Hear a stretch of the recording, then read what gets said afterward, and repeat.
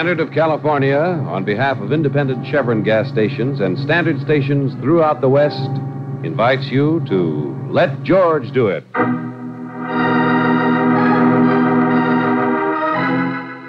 Death in Blue Jeans, another adventure of George Valentine. Personal notice changes my stock and trade. If you feel as though you've just read your own name in the obituary columns, you got a job for me, George Valentine. Write full details.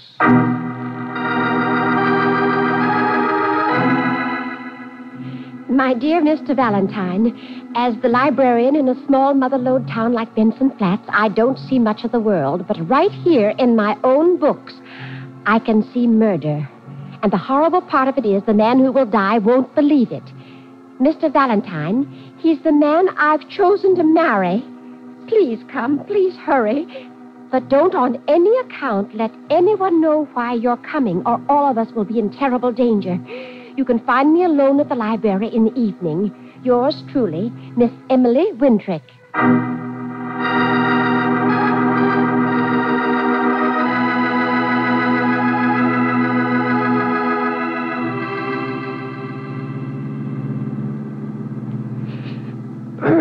Cold. Fresh air, Brooksy, fresh air. You're in the mountains. Oh, well, you don't have to drive over every one of them, do you? Sorry, Angel. They must have built this road back in the gold rush. Hey, you hear that? Sounded Yeah. like. Hey, George, where are they coming from? I don't know. It's so dark and all these trees. Well, maybe someone's out hunting. Hey, hang on, Brooksy. Get down, get down. Oh, golly, could you see anybody? Flashes by the side of the road. They were aimed at us, all right. But how could they find out about Miss Wintrick writing to us? And... Hey, George, what's that? Hmm. That's a roadblock. Somebody's stopping all the cars. Yeah, there's a man with a lantern talking to them. Yeah. Well, he looks official. Maybe now we get the answer. All right, all right. Drive on. Well, good evening. Well, hello, folks. Welcome to Benson Flats. Well, does everybody coming to town get shot at, or were we just lucky? That happen to you, stranger? Don't tell me you didn't hear. It was just around the last curve. Is that so?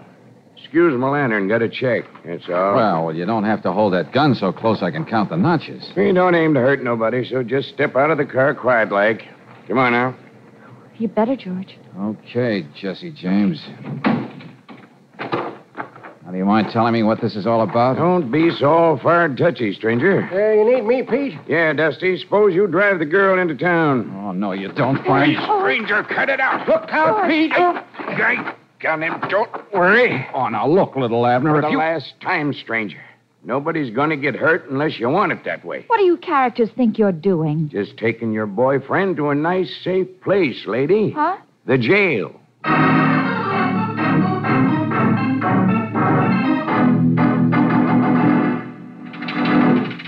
Hey, hey, hey, hey, come on, come on. Jailer, anybody. All right, all right. Simmer down, simmer down. I don't feel so good. I don't like all that noise. Well, that's tough, Buster. What's this all about? Just call me saddlebags, partner. Everybody else does. Why? Because you wear them under your eyes? Huh? Hmm? oh, hey, that's pretty good. No, I'll tell you. I come to see you because I'm the judge. Judge, you look about as legitimate as this jail does. Well, it used to be the jail back in the old mining days. I remember back in. Forget it, will you? Now, what do you want? What did they do with the girl, Miss Brooks? Ain't interested in history, huh? Okay, partner. That's the way you feel. Come on now, come on, but only mind you, no tricks now. Don't worry. I'll wait till we're using my deck.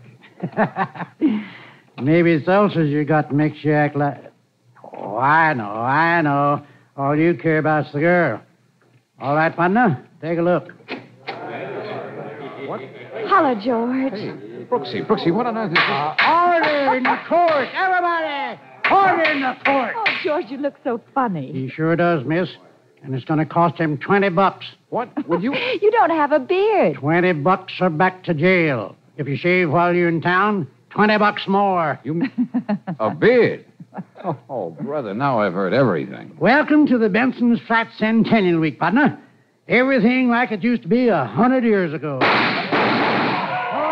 don't stand the foot. Don't worry. Blank cartridges won't hurt you now. Come on, boys.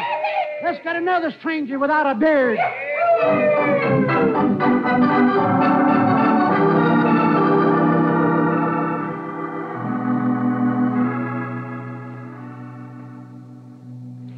Mr. Valentine, I'm I'm so glad you finally got here. It took him a little time to count out $20, Miss Wintrick. Not so loud, please. Uh, does one always whisper in the library, even when there's nobody Oh, around? but there is someone over there behind the magazines. Now, if you'll follow me, we'll go in here where we can talk. But take a good look at me as you go by. Yeah, all right, Miss Wintrick. There. That's why I asked you to come in this evening. Did you see him? Yeah? Tall, graying, dignified, but dressed in homemade clothes. He looked like he was just staring at those comic books. He comes in here every night. He just sits there. He's trying to be casual, that's all. But then he takes his real books out. Uh, Miss Wintrick, suppose you start at the beginning. Yes, what does all this have to do with the murder you said you were afraid of? He's certainly not the one you've chosen. Oh, Well, I hope to goodness not. Uh, but you see, he, uh, the man out there, is Henry Benson. Benson, like in Benson Flats? Uh, yes, it's an old-time mining family. Only Henry's never been in town until the last two weeks. He's, Oh. he's always lived in the hills alone ever since he was a boy. Most people don't even remember there was such a person. I see. He came to visit his brother unexpectedly. His brother, who's considerably more well-to-do than he. In mining?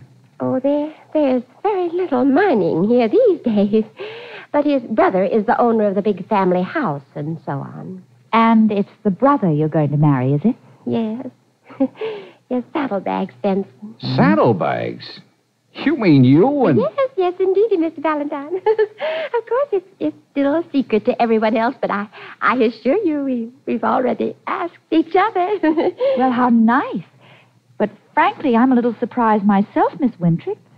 Saddlebags didn't impress me as being, well, exactly your type. then, then you've met him. Yes, we could hardly avoid it. Oh, I know he's rough and full of good spirits, but that's what I love about him. He's so well. Um, Miss Wintrick, uh, what makes you think that just. Oh, Mr. Ben. Excuse me. Why, not at all. You're busy. I'll wait.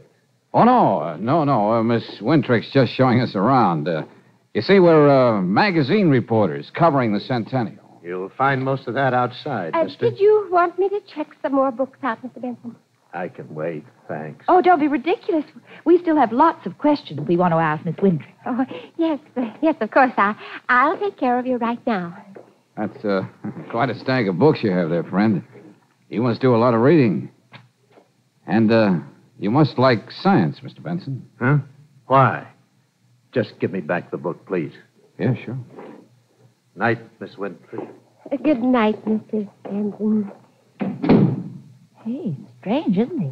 So he's reading an introduction to basic chemistry and Beacon's Guide to. Oh, I've made a list of the others he's taken. Here it is. Every book we have in the library on poison. Uh-huh. And it's your idea from that that he's going to poison his brother, Saddlebags? Oh, I know it sounds far fetched, but Henry's penniless. And they're the only two left in the family, so he's everything to gain. Oh, but really, Miss Wintrick? I- Listen, listen, please. Saddlebags has always been as healthy as, as an old horse. Even the doctor told him so the last time he was in the city. But three times in the last week, three times, mind you, he's had attacks. Spells. Oh, George, he didn't look too well tonight. Yeah, I remember. Well, what's his explanation, Miss Wintrick? Oh, he just laughs and says I'm being silly. But, Mr. Valentine, you're not going to say that, are you? You will stay. You will help me, won't you? All right, Miss Wintrick, all right. We'll check in at the hotel and see you in the morning. Oh, thank you. And don't let it worry you if I'm wearing a beard. Good night. Good night, Miss Wintrick. Brother, will you listen to that? Really whooping it up, aren't they? Yeah, and the little spinster sits there in her library scared to death of something else. You know, George, now I'm the one who's beginning to wonder. Uh-huh. I know what you're thinking, Brooksy. If there is anything to her idea, poison's a funny weapon for any man up here to pick, isn't it? Poison. A woman's weapon. Oh, no, she couldn't. George! I'm sorry, Angel. I didn't mean to shove so hard. But I think we'll make a complaint to the local sheriff in the morning. What's the matter? There's too much shooting going on here. Look at my coat. But, oh, George. Yeah, that hole didn't come from a blank cartridge or from a spinster's imagination.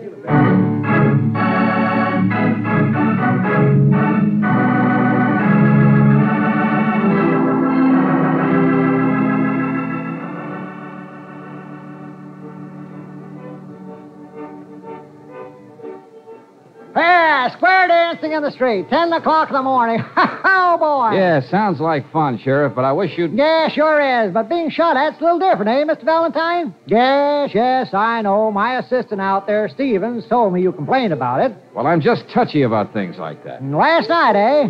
Uh, and your magazine people, he said. Not very good public relations for Benson Flats. You don't seem to take this very seriously, Sheriff. Oh, but you must realize it was just an accident, Miss Brooks. You do, now, don't you, Mr. Valentine? Maybe. Uh, Mr. Valentine, you don't impress me as a man who'd be complaining about a near miss. Well, Sheriff, maybe I just want to do a little horse trading. Huh? What do you mean? We forget to advertise the bullet, and in return, you give us some good stories. You know, good local color. Oh, well, now you're talking my language. What do you know about the Benson family, Sheriff? Huh? Benson's? Why? Well, it's Benson Flats.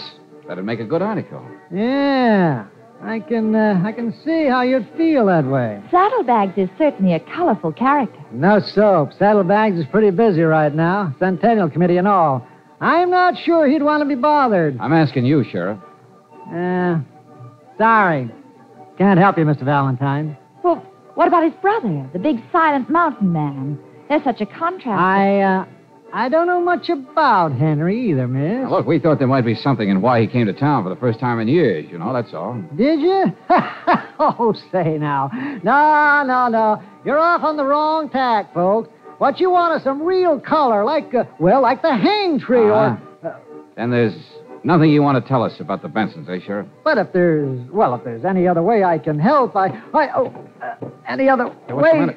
The matter? Hey, Oh, Sheriff. Oh, oh, it's nothing. I. George! I've got Oh. it. Uh, Mr. Stevens! Anybody get a doctor, quick! It won't do much good, Brooksy. What? That poison Miss Wintrick worried so much about. The sheriff seems to be full of it.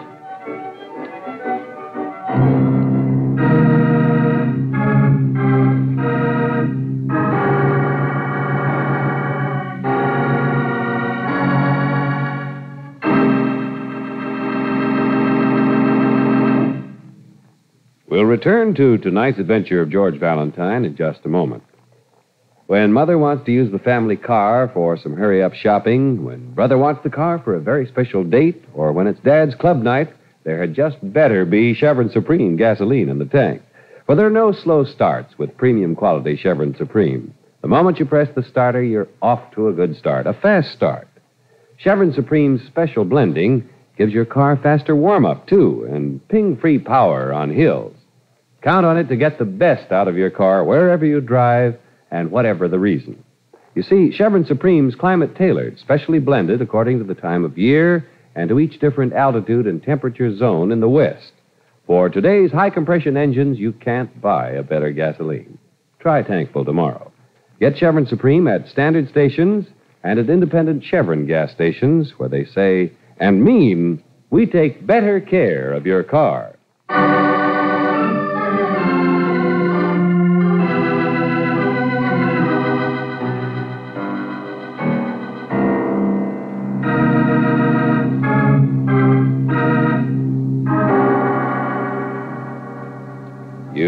Drive to an isolated little town in the mother lode, only to find that they've rolled back the sidewalks for a centennial celebration. Before you know it, you're not only charged $20 for not sporting a beard, but you're shot at. You go to see your client, a timorous spinster who fears that the man she's chosen to marry will be murdered by his brother. But it's the cagey local sheriff who dies instead. Well, when the doctor confirms that the weapon was poison, you turn the crime over to the proper authorities. But then, at least, if you study the primer as well as George Valentine does, you waste no time in cherching La Femme. Oh, dear. But what did you tell them about me? Oh, not much, Miss Wintrick. But what? Well, the man who's handling it, Mr. Stevens, seems both efficient and trustworthy. But I didn't tell him much. Because I don't think you told me much. Well, I, I, I explained to you last night. Yeah, that- I know, Miss Wintrick. You showed us Henry Benson, who's been taking out books on poison. But you gave us no reason why you were so sure he was thinking of murder. But I told you. Come to think of it, why all this secrecy in the first place? Yes, everything's secret, even your engagement to Saddlebags. Oh, stop it. Stop it, both of you. Now, look, Miss Wintrick, I'm afraid you'll have to trust us a little more. Oh, I, I'm so confused. The poor sheriff dying, and oh, dear. Please, We just want to help you. Did, did you ever see what happens in a gold rush? Gold. You, you mean somebody's actually. I did, Mr. Valentine. Right here in my own library, I found gold. Go on, go on. Well, I I was doing the research for the Centennial, old papers and letters and so on, and I came across a description of a lost mine, one of the old Benson mines. And so you went to Saddlebags with the news. I didn't know what else to do. I I knew I could trust him, and anyway, it really belonged to him. Besides, I'd always, well, eh, if he found out about the mine from me. I think I understand, Miss Winthrop. Oh, it's been the most thrilling thing in my life, having a secret with him. with a man. Yeah. Uh, of course, you understand, I, I wasn't asking for a share of the mine or anything like that, but. Now, well, he, he does like me. There's no reason we can't be happy together. Yes, I'm sure he loves you for yourself. Well, thank you. He might someday. A- anyway, uh, there was so much to be done at first the legal things on the property and uh, arranging the claims without letting anyone guess. Well, what about his brother, Henry? Well, I told you he came to town unexpectedly, and of course, Saddlebags intended to, to save him his proper share, but Henry was always so unpredictable, so unreliable. So Saddlebags just told him a little bit about some good luck and begged him to be patient. Uh huh. And just about then, Henry started coming here to the library to take out books on poison. Emily! Emily! Saddlebags. Where in tarnation are you? Emily! Oh.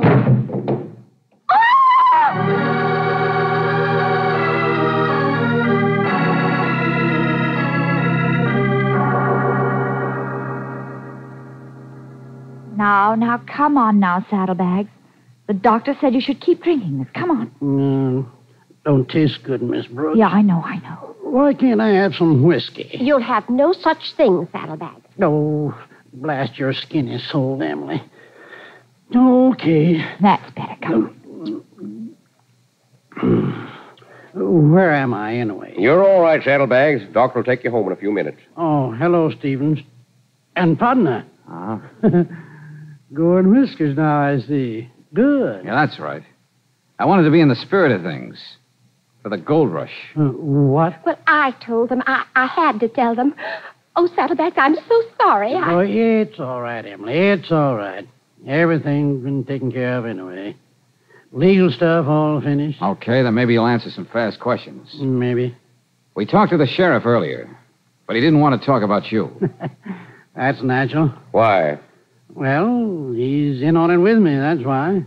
Helping with the legal end. He's sort of a small partner. You mean was. The sheriff's dead. Dead. But, but he stopped by the house just after breakfast for a little. the little. sheriff was poisoned. And he ate breakfast in the drugstore. We checked. Who's we? Uh, him and me and And Henry? told him all about the mine this morning. Figured it was time to. Then he poured the drinks. I know he did. He must have. Oh, shut up, Emily. No, he didn't.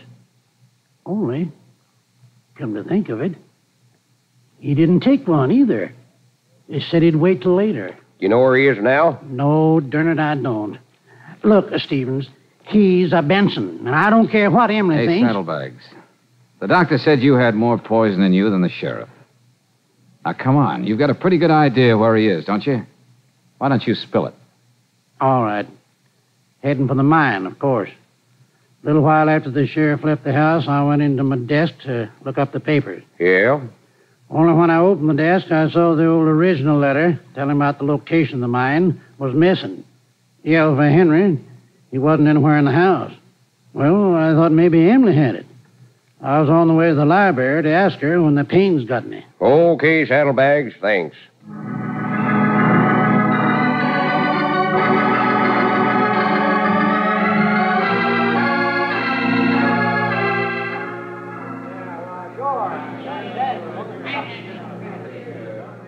All set, Valentine? You ready?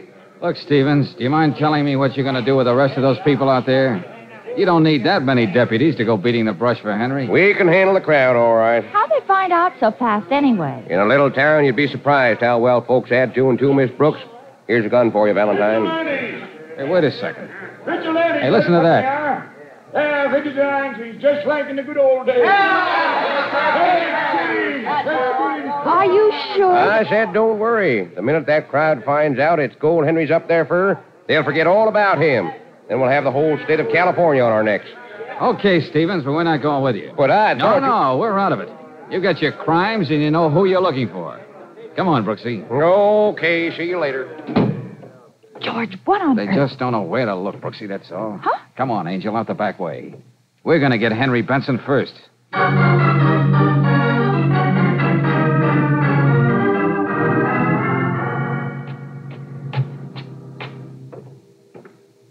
Say, this must have been quite a place in the old days when it was kept up. Yeah. Take it easy, Angel. I don't know exactly what we're going to find, but I think we'd better go in without knocking. Hmm. California hospitality. Well, here goes nothing. Mr. Benson? Mr. Benson! Well, George, it's only a hunch Henry's here anyway. It's only. Wait a minute. Let's. That's upstairs. Come on.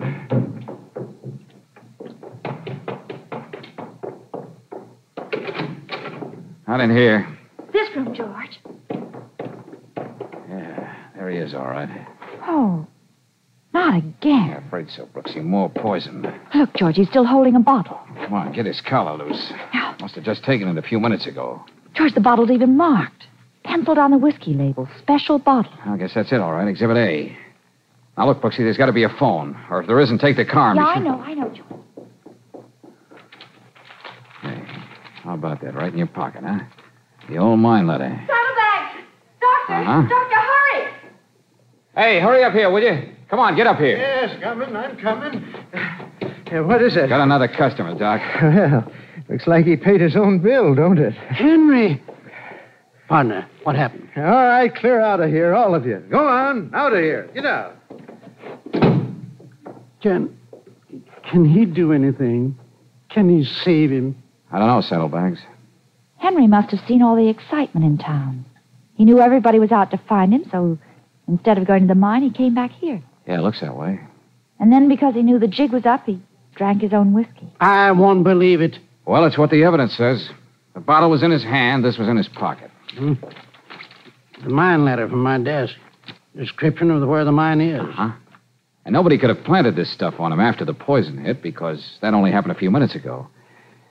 Anyway, he was the one who took those books on poisoning out of the library in the first place. I know, but doggone Buck it. Buck up, Saddlebags, buck up.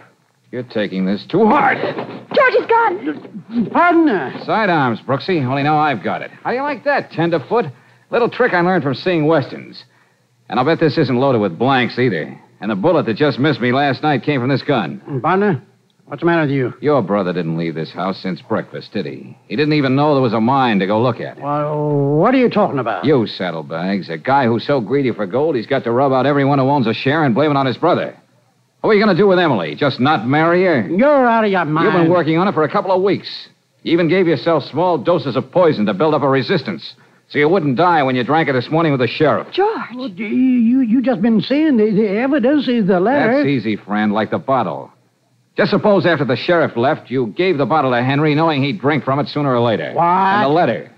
Suppose you gave him the letter and told him to keep it. Only he never knew what was in it. Just like he never knew what was in those books you sent him down to the library to get. You're not making sense, partner. Henry, he ain't blind. No, but he's a better patsy than if he were. Because you've been keeping a secret for your bashful backward hillbilly brother, haven't you? George, what are you driving at? That everything that happened does make sense. If you just suppose for a minute that Henry can't read.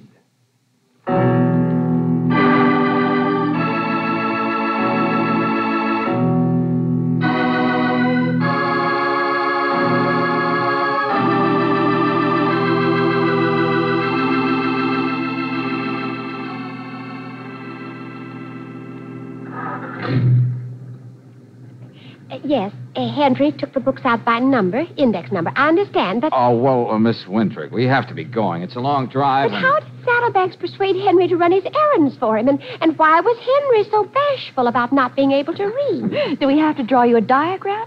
Ask him. He's all better. Henry liked to come to the library. He liked to sit there pretending he was reading the comic books. What's that? Uh, y- you see, Emily, he, uh, he really wanted to look at the library. Oh, but you don't. Oh, Henry Benson? Do you really think so? Goodbye, Miss Winthrop. Good luck. Well, if at first you don't succeed, try, try again. Oh, George, do we have to go so soon? We haven't even seen the centennial. We haven't much time, Angel. Hey, what are you doing? Hmm. Loading a square that I was part. Oh, darling. Hmm. Maybe it's not such a bad idea. Then. Ooh, your beard, George. I forgot. Well, so long, Benson Flat. See you when you have a shave.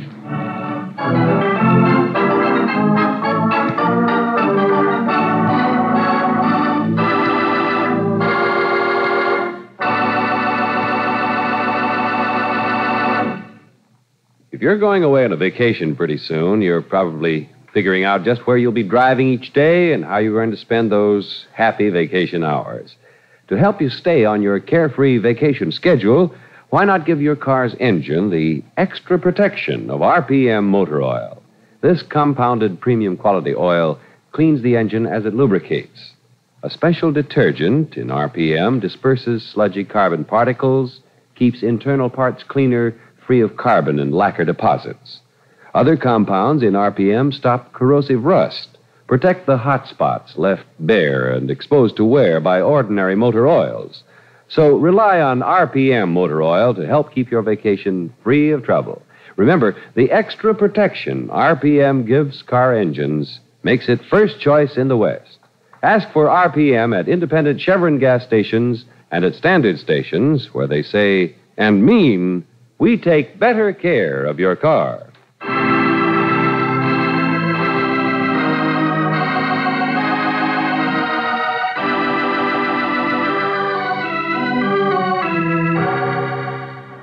Next week, when we catch up with the very groggy George Valentine aboard a luxury cruiser in foreign waters, we'll hear.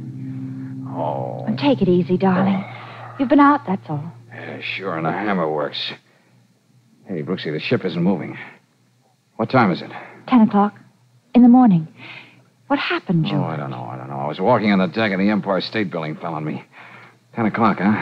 Well, then we've dropped anchor.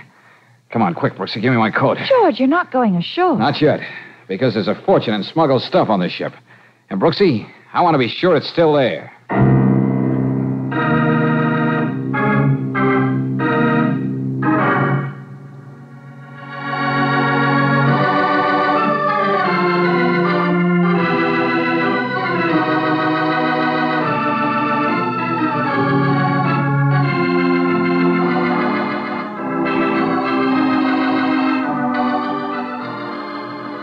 Tonight's adventure of George Valentine has been brought to you by Standard of California on behalf of independent Chevron gas stations and standard stations throughout the West. Robert Bailey is starred as George, with Frances Robinson as Brooksy. Let George Do It is written by David Victor and Herbert Little Jr. and directed by Don Clark. Also heard in the cast were Sarah Selby as Emily, Horace Murphy as Saddlebags, Stephen Chase as Henry, Dick Ryan as Sheriff, Ken Christie as Pete, and Jack Mather as Stevens.